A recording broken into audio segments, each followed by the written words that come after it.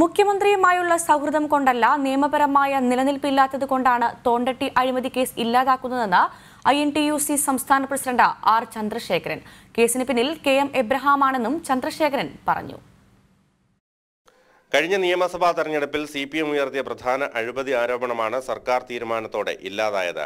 I N T U C നേതാവ് R ചന്ദ്രശേഖരനും മുഖ്യമന്ത്രി പിണറായി വിജയനുമായുള്ള സൗഹൃദമാണ് കേസ് അട്ടിമറിക്കാൻ കാരണമായതെന്ന് പല കോണുകളിൽ നിന്നും വിമർശനം ഉയർന്നിരുന്നു.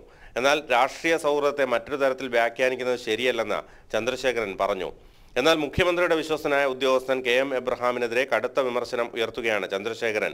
കശുവണ്ടി കോർപ്പറേഷനോട് മാത്രമുള്ള അദ്ദേഹത്തിന്റെ സ്നേഹത്തിന്റെ പിന്നാമ്പുറം പരിശോധനയ്ക്ക് വിധേയമാക്കണമെന്നും ചന്ദ്രശേഖരൻ പറഞ്ഞു. അങ്ങനെ ആ മാനേജ്മെന്റ് ഘടനയ്ക്കകത്ത് ഒരിക്കലും യോജി ചേർത്ത് വെക്കാൻ കഴിയാത്ത ഒരു പരാതിയുടെ പേരിൽ പിന്നീട് ഇതിനെ അങ്ങ് തകർക്കാൻ എന്താ മാർഗമെന്ന് വിചാരിച്ച് നിരന്തരമായി അദ്ദേഹം പരാതി കൊടുക്കുകയാണ്.